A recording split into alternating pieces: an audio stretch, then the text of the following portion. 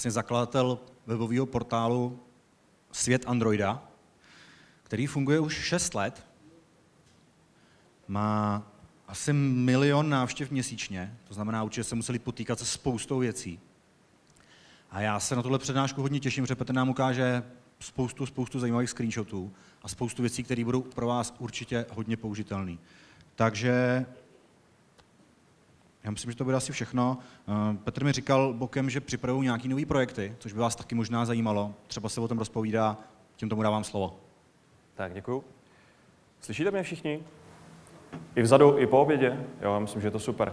Já jenom na začátku, teda já jsem Petr, všichni mi tykejte rovnou, a jestli budete chtít, je to taková nabídka. A zeptám se, kdo z vás je vývojář? Ruku nahoru. Je to taková zkouška, jestli nespíte po obědě. a kdo z vás je třeba, kdo spravuje ten WordPress, kdo, není, kdo nevyvíjí, ale kdo ho spravuje? Takže více vás to spíš spravuje, takže vás zajímají spíš takové ty věci na tu administraci. Je to tak? A jak správně už bylo řečeno, mé jméno je Petr Mišák, jsem zakladatelem světa Androida a jsme na trhu asi 6 let. Um, na začátku, když jsme se rozhodovali, jaký systém to bude, tak jsme se rozhodovali tady přesně podle těch pravidel. WordPress jako takový, my jsme do té doby běželi na Joomla, byli jsme tři projekty, které se spojily, takže jsme museli absolvovat i nějakou migraci, vůbec se toho nebojte, v případě, že něco podobného teďka řešíte. Já věřím, že i mezi váma teďka sedí spousta světu Androidu na začátku, takový velký projekt uh, uh, určitě se vám povede i vybudovat. Za mě to rozhodně bylo, že je to zdarma. V té době jsem neměl žádné finance nebo jenom minimálně a potřeboval jsem projekt, který můžu velice rychle spravovat za minimální náklady. A nechtěl jsem řešit žádné programování. Takže jsem se rozhodoval mezi Drupalem, Joomlou a WordPressem. Nakonec jsem rád, že to byl WordPress, v té době WordPress byl ještě spíš takové jenom blogovátko a na ty velké, mohutnější systémy se používaly spíš ty ostatní. Dneska už WordPress v podstatě dospěl a řekl bych, že ve spoustě věcech i Drupal nebo Joomla předstihl. Byl dobře dostupný, můžu ho v podstatě provozovat na vlastním serveru, ale to vám nemusím říkat. Existuje množství rozšíření. Když jsme se bavili s našimi kolegy, kteří podo, provozují podobné portály, tak říkají, no jo, my jsme si to napsali v nete, je to super, hele, tady mám klikátko, tady to dělá, tady to na mě kouká. A říkám, no dobře, a jak dlouho si nad tím strávil? Ale v pohodě, asi za týden to bylo napsané. No a hádej, co jsem dělal ten týden já? No já jsem ladil obsah, mohl jsem se věnovat věcem, kterým opravdu rozumím a nemusel jsem se starat o ten WordPress. Ale není to samozřejmě všechno tak růžové, jak si jak za chvilku zjistíte. Ono, i když eh, ten WordPress běží je skoro automaticky, tak když se dostanete nad nějakou návštěvnost, tak začnete řešit problémy, hm, těžko říct, možná jsou to výhody, které do té doby vůbec nebyly. A ve většině nutnost teda není důvod programovat, což je za mě super a rychle se vyvíjí. To, co bylo před pěti lety, tak dneska v podstatě ti vývojáři na tom WordPressu pracují jakoby za mě. Já nemusím hnout ani prstem, přijde mi aktualizace, já tam mám nové zaškrtávátka, pokud se teda něco neskoní, ale většinou to bývá pozitivní, takže já můžu jít absolutně s dobou, můžu mít responsivní design, můžu mít dynamické načítání obrázků, kešování a nemusím v podstatě hnout ani prstem. Tak asi si říkáte, na čem běžíme. To je docela důležité. Na začátku jsme začínali s takovým tím klasickým hostingem, protože jsme to někam nahráli, nastavili jsme DNS a běželo to. Aktuálně díky větší návštěvnosti, kterou za chvilku ukážu, už běžíme na manažovaném serveru. Nevím, jestli mám vysvětlit, ale je to v podstatě to, že my nemusíme vůbec nic dělat, jenom si zaplatíme někde nějaké železo, kde je nějaký server admin, který má na starost ještě dalších x projektů. Já kdykoliv zvednu telefon, třeba 24 hodin denně a můžu s ním komunikovat, ať mi něco nastaví na serveru, udělá, protože já ty zkušenosti nemám. Zároveň mám od něho feedback, a řekne mi, hele, to není úplně ideální, já bych to nastavil tak a tak. Takže pokud nad tím uvažujete, je to ta lepší možnost, že zase nemusíte programovat a opravdu se můžete starat je to jenom o tu vaši práci. Když se podíváte na ten slajdík, tak tam vidíte 72 GB RAM, to už je docela velké. Ono WordPress obecně je super, že je uživatelský, ale není moc lehký na, na ten provoz. Když uh, jsme se rozhodovali, jestli budeme ten WordPress opravdu ladit do detailu, čemuž se stejně jako nevyhneme, tak nám na hostingu poradili, ať to urveme výkonem. Ono se to v určitých případech dá, prostě dáte nějakou tu stovku navíc a najednou z pomalého WordPressu máte rychlejší WordPress, protože tam máme 72 GB RAM. Takže všechno, co můžeme na tom WordPressu, v podstatě narveme do té ramky a potom se to servíruje mnohem rychleji. Ale 72 GB RAM je už docela um, hodně ramky a je potřeba s tím pracovat. Co se týče technologií, tak tady jsme za těch 6 let asi udělali největší kus práce, protože sami jsme na začátku nevěděli. Teď už víme. A to je takové to naše know-how. A já se možná o něho dneska podělím. A ne, podělím se o něho určitě. Dělali jsme si spoustu testů a ono se to i v průběhu času mění, takže to, co funguje u mě, nemusí třeba fungovat u vás, ale můžete tam najít spoustu inspirace. Co se týče technologií, v podobě servírování toho obsahu, tak jedeme na Apache. Klasický Apache, v tom je PHP, donedávna to bylo pět něco. Apache jako takový je docela pomalý. PHP taky není úplně nějak extra rychlé. Má to vysoké nároky, obzvláště ve WordPressu, kde ten kód nemusí být pokaždé optimalizovaný, a jsou tam nějaké zpětné kompatibility, takže vždycky, když jsem řekl na hostingu, my na WordPressu, Ježíš Maria, to, kdybych to dělal ručně, jak by mi to načetlo za polovinu času. To je sice pravda, ale kdo to má s tím dělat, jo? No takže jsme nakonec vymysleli, že tím, jak nás už navštíví více jak milion, zaznamenám více jak milion návštěv za měsíc, což je opravdu, už se setkáváme s těmi problémy, s kterými se běžně nesetkáte, tak běžíme na klasickém Apache. Teďka nově jsme přešli na PHP 7, za chvilku ukážu, jaké jsou tam změny, jak se to projevilo u nás na serveru, ale před to jsme postavili ještě Nginx. On ten Nginx se dá vyměnit místo toho Apache, ale my ho používáme jako reverzní proxy. Nejsem programátor, říkám rovnou, sice mám elektrotechnickou průmyslovku, ale spíš teďka už dělám marketing a obchod pro svůj projekt, takže budu mluvit to, co, co jsem načetl a to, co jsme reálně zjistili. Pokud by to nebylo technicky úplně košer, tak mě klidně opravte ten engine stojí v podstatě před mezi váma a tím serverem a když nějaký požadavek uh, byl vygenerovaný, tak on vám ho vrátí, něco jako cache, dá se říct. Takže vám vrací ty požadavky a už nemusí jít uh, ten požadavek úplně do toho PHP, na, to, na toho Apache, aby ho nezatěžoval. Takže se nám najednou ulevilo a my jsme nemuseli kupovat další mašinu, a nebo to rozkládat na dvě, kde by na jednom běžel Apache a na druhém běžela databáze. Už se nám to jednou taky stalo. Napsali jsme o jedné takové hře, která, kde musíte hledat obrázky, nebudu říkat název, abych neprozrazoval své know-how. A určitě všichni v mobilu znáte. A najednou všichni nám začali chodit na server a pro nás paradoxně všechno to, co bylo výhodou, zvyšující se návštěvnost, tak najednou server dvě hodiny nešel, pak zase hodinu šel, dvě hodiny nešel. Protože ta obrovská návštěvnost způsobila to, že měl výpadky. A my jsme teďka museli řešit, tak co, tak to budeme půl roku optimalizovat, to ty lidi už budou dávno v čudu, tak jsme vzali a rozdělili jsme to na dva servery. Sice nás to stalo dvojnásobek, ale všechno fungovalo tak, jak mělo. Když ta návštěvnost počáteční opadla, tak jsme to zase spojili. I takovéhle řešení určitě je a je okamžité. Ten server hosting je schopný tohle udělat, dá se říct, do druhého dne. Tak, takhle vypadá náš web. V podstatě celý si ho děláme sami.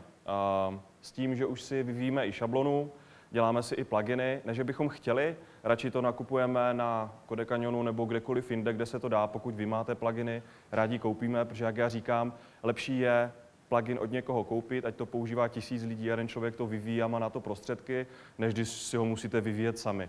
Víte, že třeba na Codecanionu takový um, plugin dobře udělaný koupíte fakt v řádově jednotek, desítek dolarů, ale když si ho chcete vyvinout sami, stojí desetkrát tolik. A ještě právě musíte na to pořád myslet, že přicházejí nové verze. Tak, co se týče návštěvnosti, tady je screen z Google Analytics, který jsme nějak netajili, jsou to i celkem veřejné informace, s tím, že se pohybujeme někde na milionu 300 návštěv za měsíc. Když byla taková ta obrovská špička, to jsme byli někde na dvou milionech a je opravdu už hodně těžké ten WordPress odladit že spoustu pluginů, které tam dáte, si říkáte, jo, takhle listujete a říkáte si, jo, tenhle plugin se mi líbí. Hmm, dělá přesně to, co chci. Ale to, že je uvnitř prohnilý, tak to už v podstatě nemáte šanci zjistit. Vy ho nahrajete na, na server a najednou se stane to, že vám celý server přestane fungovat, začnou vám chodit erory nebo začnou si stěžovat lidi. Takže při takhle obrovské návštěvnosti už musíte řešit už ten postup, je lepší dělat tak, že máte speciální testovací server, kam si ten plugin nahrajete, vyzkoušíte, jestli je v pořádku a když se teda pro něho rozhodnete, tak máte po ruce někoho, kdo WordPressu rozumí aspoň po stránce kódu a podívá se do toho kódu a řekne, jo, je to napsané relativně dobře. Protože když to není relativně dobře napsané, tak skončíte jako my, málem na dlažbě. Nainstalovali jsme plugin, který vypadal, že je super, najednou to začalo celé hroutit, začalo to padat, a my jsme ho museli rychle vysekat a nahradit něčím jiným. Přestože na Code Canyonu měl hodně vysoké hodnocení, kdy ostatní uživatelé to viděli stejně jako já, neviděli do kódu, ale viděli jenom tu užitnou hodnotu. Takže na to, na to když tak pozor. Jinak, co se týče dotazů, tak klidně mě bombardujte. Já vím, že je tady na to speciální apka, do které to můžete zadat, ale pokud byste měli cokoliv, tak se rovnou ptejte, ať si to nemusíte pamatovat nebo zaživa. Tak, tady, jasně? O jeden slide, jasně?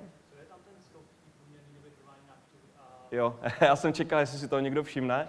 Tomu skoku se můžu vrátit na konci. To je v podstatě ta přednáška, co tady byla předtím od Honzy. On, jestli to řeknu, pár přednášek jsem od něho viděl, říká, že Google Analytics jsou na prd, jsou sice super, že jsou zadarmo, ale jsou jinak na prd, protože ty některé informace, které od tam ať máte, tak nejsou úplně vypovídající. A my jsme museli vytunit Google Analytics tak, ať ty informace jsou mý na prd. Takže to je ono, já se k tomu ještě dostanu úplně na konci. Tak, tady jsou pluginy, když tak se můžete inspirovat, neustále filtrujeme, znáte to. Večer jdete do postele a díváte se na pluginy, listujete. Neznáte? No, tak to jsou takový uchylové jako já, kteří tam prostě jako brouzdají a dívají se, jestli náhodou nemůžou něco vytunit, protože to nechtějí programovat, že jo? To máte pro programátora, musíte vymyslet zadání, musíte toho programátora sehnat, musíte ho zaplatit, teď to musíte zkontrolovat, nasadit, to já nechci. Já chci si ten, já chci si ten plugin jenom vybrat, nainstalovat, aby mi přinášel ovoce.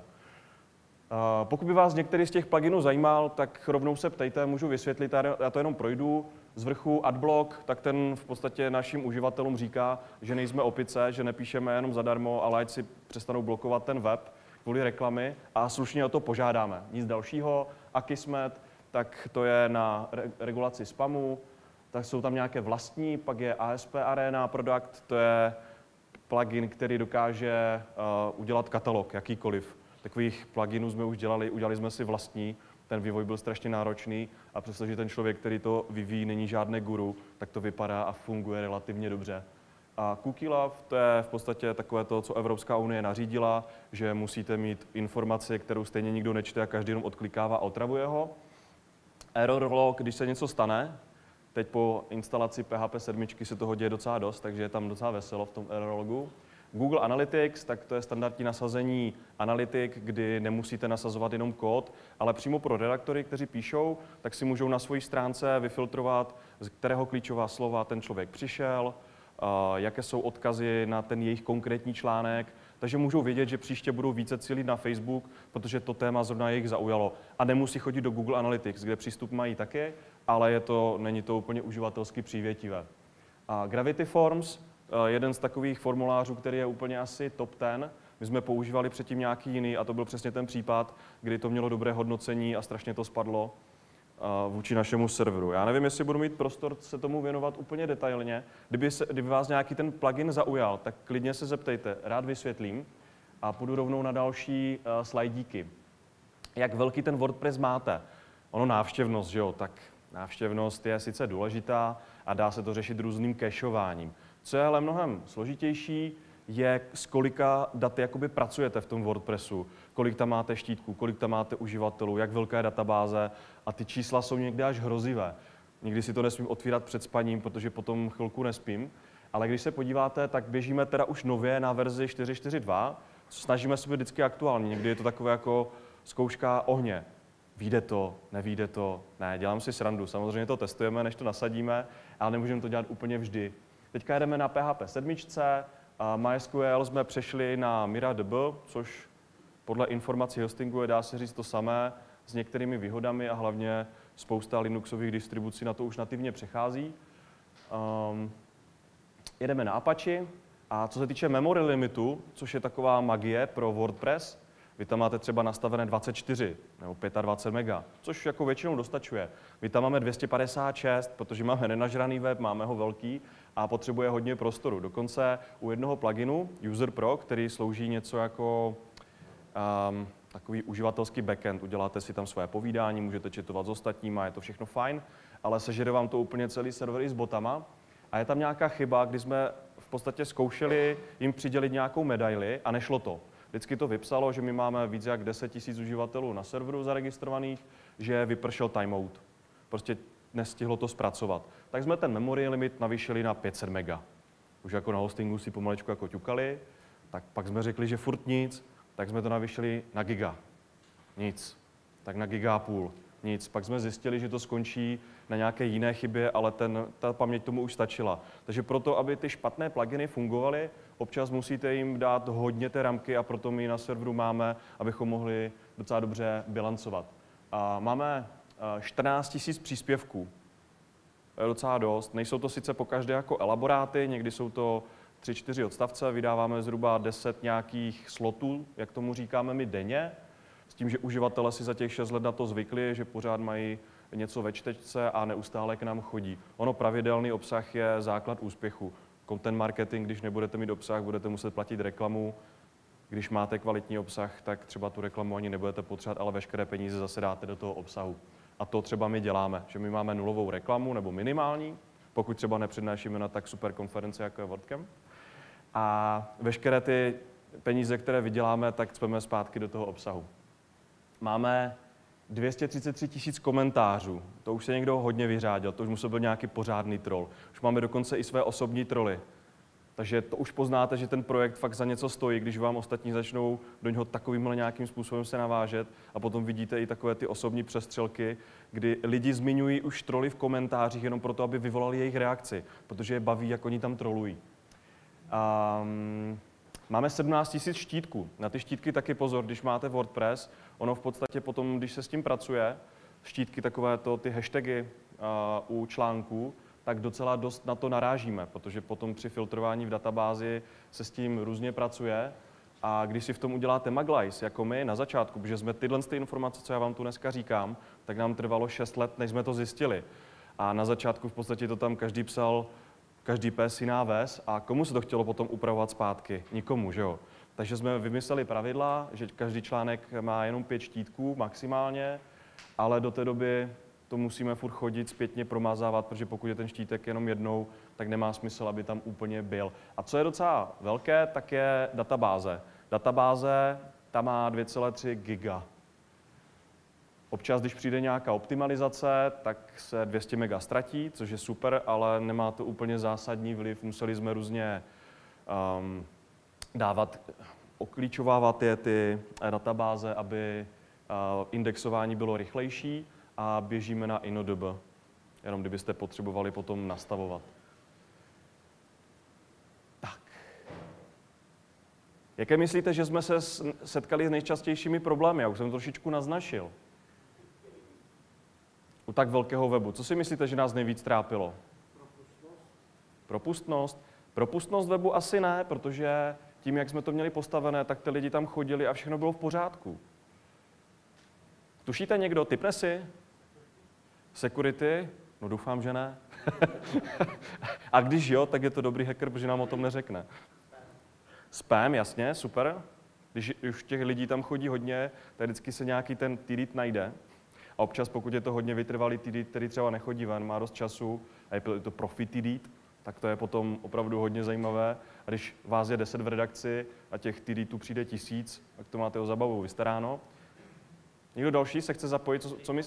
Rychlost? Jo, určitě. Rychlost načítání toho webu, občas jsme se dostali v průměru, když se podívám do Google Analytics, tak to může být 14 sekund, což je průměr, on to samozřejmě to úplně nevypovídá, ale jsme někde teďka na třech sekundách pro Českou republiku, protože když to budete načítat z Anglie nebo z Ameriky, tak je to trošku jiné, ale ta rychlost určitě je problém. Nějaký další dotaz? Uh, jo, to řešíme furt, to v podstatě můžeme přehrabovat jak vidlema, protože když uděláme velkou náborovou akci, tak ze stovky, kteří se, když to řeknu lidově, mají na to nám napsat, tak vybereme jednoho. My jsme dřív brali úplně každého, byla velká fluktuace, takže jsme museli hodně vyhazovat, nás to nebavilo, je to nebavilo, takže teď jsme udělali svobodu v práci, to znamená, ti, co se u nás dostanou, tak můžou v podstatě dělat, co chcou, kdy chcou, jak chcou. Jsou důležité jenom uh, ta zodpovědnost a důvěra, která je ve svobodě důležitá. Ale to, než se k nám dostanou, tak se dá skoro přirovnat k přijímacím pohovorům v Google. Jeden, druhý, druhý test, potom přijímací pohovor, kdy tam sedí oba dva lidi. Ale jakmile tím člověk projde, přijímáme ho nejenom jako člověka, ale i jako v podstatě výkonnou jednotku, tak se může stát, že přijde redaktor, nakonec dělá grafika a pak lítá z drony, prostě to, co ho baví. A že ti redaktoři jsou obrovský problém a nejsou to redaktoři jenom, ale jsou to členové týmu. Ono dneska každý by chtěl, vidí takové ty virální videa, že jo, Viral Brothers, ti na internetu řekli něco z prostého, najednou zbohatli, to chce každý, abych to taky bral, ale té práce je zatím hodně. Nějaký, nějaký další dotaz ohledně, napadá vás něco, co by tam ještě mohlo drhnout? Ne, OK. Co si myslíte, že web zatěžuje nejvíc? Obrázky? Hmm.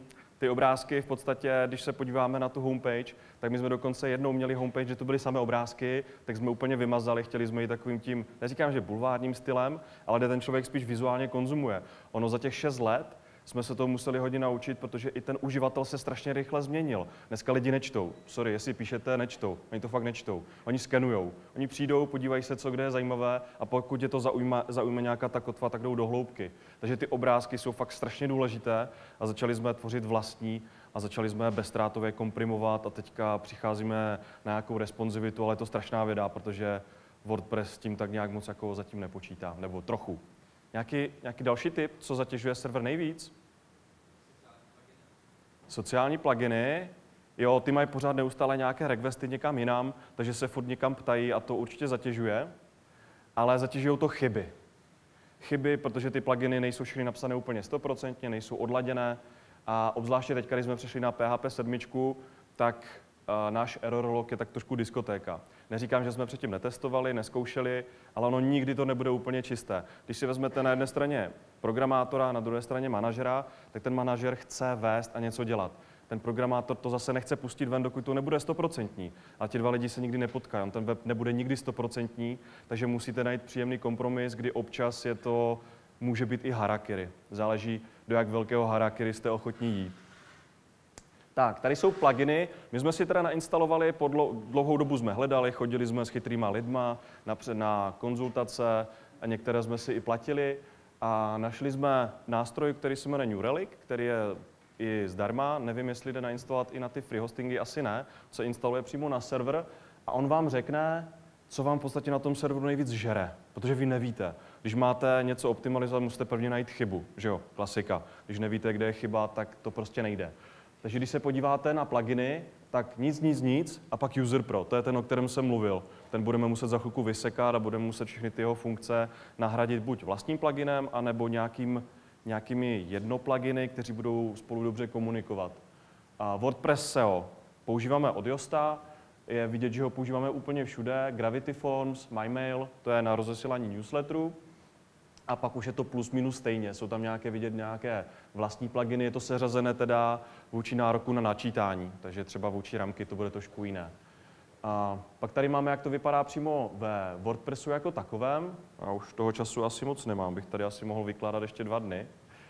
A tak, tady máte i to, co se volá přímo v tom WordPressu, co jakoby nejvíc trvá. Protože když vidíte, že je nějaký požadavek do databáze, který se vám dlouho vrací, tak je ideálně se tam podívat, podívat se, jestli nemůžete dát nějaký index, nějaký klíč a tím se nám to třeba o polovinu zlepšilo. A když si vezmete za těch 6 let, já bych si přál, aby existoval nějaký plugin, který by uměl úplně všechno, takový jako doktor inspektor, já bych ho nahrál na server, zaplatil bych klidně za něho 100 tisíc, on by to celé prošel, zoptimalizoval, vyluxoval, prostě ten bordel z toho minula. Když nainstalujete plugin, on si nechá nějaké tabulky, nechá si nějaké věci na FTP a potom musíte a celé to ručně mazat. Takže to by bylo úplně super, kdyby něco takového existovalo, ale zatím ne. A tady ten New Relic vám aspoň ukáže ty slabé místa, kudma se vydat. Kdybychom ho neměli, tak je to vždycky požadavek na server. Hele, nemohli byste tam něco optimalizovat? A server řekne, jasně, ale řekni si co? No my nevíme. tak, nedávno jsme teda upgradeovali na PHP 7 a MariaDB, jestli to teda říkám správně. Ta MariaDB by měla být s MySQL kompatibilní, jenom by tam mělo být nějaké drobné vylepšení. Myslím si, že tam je um, full textová indexace v MyISAM, a PHP 7, když jsme ji testovali před půl rokem, kdy byla ještě v betě, tak oni říkají, že je o dva půlkrát asi rychlejší, což do určité míry je pravda. Předtím byla ještě nekompatibilní s nějakými pluginy, takže jsme museli posečkat. Dokonce i teďka, když jsme nainstalovali, tak se stalo to, že nám New Relic vypadl, protože proto ještě nemají toho démona, klienta. A i některé věci jsme museli dočasně odstřihnout, byť uh, jsme už do toho šli, abychom to všechno aktualizovali. Realita a praxe. Já už jsem toho z té praxe asi hodně řekl. Když budete potřebovat, tak se klidně ptejte.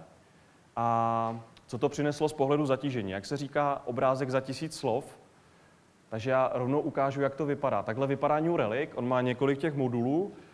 My teda nejvíc využíváme to APM kód, což vám strčí něco jak Google Analytics kód přímo do stránky a tam to, ono to analyzuje, s čím to komunikuje a jak, podle toho to můžete optimalizovat. Teď se díváme na server, kdy tušíte, kdy jsme přišli s, tou, s tím PHP 7? Je to, šest, je to 18.2. Je vidět, že na vytížení procesoru uh, systém, což je to tmavě modré, tak to úplně zmizelo. Uživatelsky generovaná zátěž, ta se zmenšila na polovinu, ale na serveru to není poznat. Tušíte proč?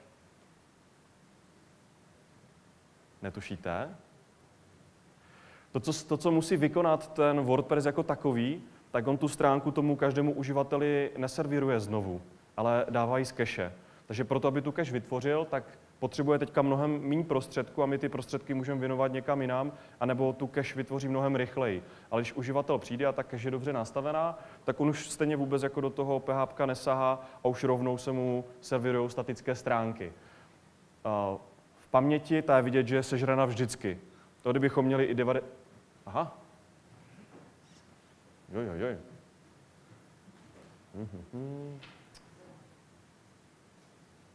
Technická záležitost. Je vidět, že kdybychom měli já to teda proklikám. Kdybychom měli ty ramky více, což pravděpodobně nás teďka budeme upgradeovat na 96 GB, což je úplné maximum, už jenom proto, abychom tam měli prostor na tu variabilitu, když se, něco náhodou nepo, když se náhodou něco pokazí. Co se týče zatížení serveru, tak v podstatě kleslo na polovinu, což si myslím, že je docela dobrý výsledek. A my jsme předtím testovali HAVM, testovali jsme Nginx a veškeré další věci. HAVM, což je odnož PHP od Facebooku, vyšla asi nejlépe, ale je srovnatelná právě s PHP 7, která má mnohem větší kompatibilitu, takže nemusíte řešit různé drobnosti. Tak, já už se dostanu rovnou jenom k budoucnu. Ještě mám dvě minuty aspoň? Dobře. A co, co teďka v budoucnu plánujeme? Jak jsem říkal, my některé věci vyvíjíme. Ne, že bychom chtěli, ale máme nějakou vizi a za tou vizi si jdeme. A to, že ty prostředky nebo ty lidi zatím na tom trhu nejsou, tak aspoň připravujeme podmínky, abychom tu naši vizi dosáhli. Neptáme se, proč to nejde, ale jak to udělat, aby to šlo. Někdy to hodně drhne, někdy to hodně bolí, někdy přijdete i na schůzku s nějakým vrcholovým člověkem, který vám má poradit a některé věci on sám neví ale to je spíš pozitivum, že se dostáváte hodně dopředu a hodně informací čekáme, čerpáme právě ze zahraničí. Chceme v podstatě mít eh, skupinu webů, které budou všechny propojené, ale nebudou si povídat na základě multisiteu, které nejsou úplně kompatibilní se všemi pluginy, ale skrz APIčka. API je takové zprosté slovo a pro nás ideální, kdy všechny ty systémy nějakým způsobem si povídají a vyměňují informace. Budeme teďka plánovat nativní Android aplikaci, nevíme, jestli budeme chtít nějakým způsobem pouštět ven, ale zkrátka aplikace, kterou vy si dáte do mobilu, napárujete se svým WordPressem, ono přes nativní API si to bude povídat a ti uživatelé, kteří budou číst ten váš web skrz tu aplikaci, dostanou navíc notifikace, dostanete nějaké informace od nich, že se můžou rovnou zalogovat. Prostě ta nativní aplikace ještě má jakoby smysl být neúplně vždycky. My jsme si už asi půl roku programujeme, není to sice úplně extra sláva, protože najít programátora na Android je jak šafránu, ale budeme to teďka dělat v budoucnu. Chceme propojovat všechny ty systémy se CRMkem, protože WordPress je super, ale když si to nepovídá s vašimi Google kontakty, nepovídá si to s dalším systémem, tak jsou to oddělené celky a fungují, jak když máte tým, každý sedí ve svoji skleněné lahvi, ale nikdo si s nikým nepovídá. Takže budeme tomu dávat větší. A chceme, což je náš takový jako asi největší cíl, chceme to načítání pod jednu sekundu. Tak už to tady bylo zmíněné v předešlé přednášce, to načítání je fakt důležité, obzvláště u těch mobilů. Dá se o tom povídat mnoho, mnoho, je to něco jak SEO. Neexistuje červené tlačítko. Bylo by to super, kdyby existovalo, ale neexistuje. A chceme to načítání pod jednu sekundu a tím směřujeme naše aktivity už asi rok. Tak, já tady jenom ukážu, Teďka máme připravený nový web, odrazili jsme se od šablony, kdy minulý rok jsme se nechali trošku napálit jedním slovenským vývojářem, který říkal, hele, jo, super, super, pár, pár jednotek, spíš desítek tisíc za šablonu, my jsme mu teda nějakou koupili, aby se měl od čeho odrazit, aby nemusel začínat úplně od začátku. On nám potom poslal šablonu, že už je to hotové a poslal nám šablonu a k tomu spoustu pluginů, kterou si máme nainstalovat. Říkal, to je něco špatně asi. No, jenže už jsme byli dost daleko, tak jsme potom asi měsíc ladili. Já jsem si s ním povídal na denní bázi, posílal jsem mu bugy, které to má, protože už jsme byli dost daleko, nechtěli jsme to úplně zahodit. Teď jsme začali úplně od znova, hledali jsme programátora asi rok, který by nám to udělal v takové kvalitě, že každý na začátku říká, znáte to, když ptačka lapají, pěkně mu zpívají a funguje to taky tady. My teda aktuální web, tohle je z GT Metrixu, je to taková služba, kde vám to ukáže PageSpeed, Um, ukáže vám to i nějaké další statistiky a hlavně vám to ukáže i, jak se vám ten web načítá. Můžete tam mít nějakou historii a můžete si proklepnout, proklepnout i někoho jiného. A teď máme načítání někde kolem těch 8 sekund a je vidět, co je asi nejdůležitější, je velikost toho webu 3 MB, což už je macek, a načítání 170 requestů v podstatě těch požadavků, které ten web musí vytvořit. Teďka máme připravený nový web, který už je v betě. Já vám potom řeknu adresu, ať se na něho můžete mrknout, když tak ho pořádně proklepnout. A ten už má mnohem vyšší hodnocení, načítá se teda mnohem rychleji, on se načítá za 0,5 sekundy, akorát tím, jak se to načítá z Londýna, tenhle ten benchmark, tak to trošičku zpomaluje, ale vidět, že 3 mega oproti 280 kg je rozdíl a těch requestů je 23. My teda jako svět Androida si začneme měnit, tím, jak máme ty zkušenosti a to naše know-how, částečně jsem se dneska o to podělil, tak se staneme svět zítřka, taková nadčasová záležitost, kdy už se nebudeme věnovat jenom Androidu, ten and- svět Androida stále zůstane, nad tím bude svět zítřka a rozvětví se to na spoustu dalších projektů a proto jsme museli připravovat veškeré to podhoubí, komunikace, optimalizace a další záležitosti.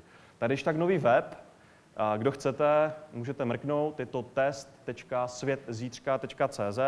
Web by se měl načítat opravdu velmi rychle, je ještě takový polovičatý, ale pokud tam někdo najde chybu nebo nějakou věc, kterou by chtěl vylepšit, tak rád ho pozvu na pivko, kde to můžeme probrat a po případě i sjednat nějakou zakázku, anebo klidně si můžete jenom inspirovat a mrknout se, co by vás zaujalo.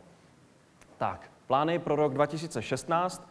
Tak to je přesně to, o čem jsem mluvil. Díky tomu, že máme na WordPressu postavené veškeré to naše know-how, nemusíme úplně extra kódit, jako kdybychom to vyvíjeli sami. I spoustu našich přátel, kteří už nějakou dobu jeli třeba na tom nete, tak přechází aktuálně na WordPress. No a do budoucna bychom mě chtěli mít na WordPressu postavenou síť webu, která bude zaměřena na mužský lifestyle, byť tím jako nerozlišujeme ženy a muži, ale většinou to bude cílené na ty záliby, které a, zajímají muže a bude to high-tech, kde se pohybujeme, jako je Google Glass, virtuální realita a telefony.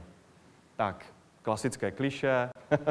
Rozšířujeme tým, pokud byste měli zájem, zájem se přidat, tak uh, vyznáváme svobodu v práci a schopných lidí není nikdy dost. Za mě všechno.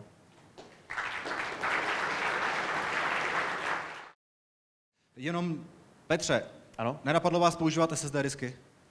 Jo, používáme, na hostingu je dokonce používáme tak nějak, jako to necháme na odbornících, ale stejně ty SSD disky nejsou úplně vše spasitelné. Jsou malé disky, my těch data máme docela hodně a ta ramka je spíš řešení, což je v podstatě takový rychlejší SSD disk. Poslední otázka, jak určuješ, kolik reklamy na stránkách je ještě OK? Není tam teď moc? A to nevím, to mi řekněte vy, jestli je tam moc. V podstatě funguje tam to pravidlo, že čím více lidí si to blokuje, tím musíme hledat nové způsoby, jak ten obsah monetizovat. A já si myslím, že jí tam moc není, ale kdyby bylo jenom na mě, tak bych byl rád, aby tam nebyla žádná. Reklamu taky nemám rád a v případě, že bychom našli jiný způsob, jak monetizovat obsah, tak určitě bychom tu reklamu rádi vypli. Super, moc krát děkuju. Potlesk.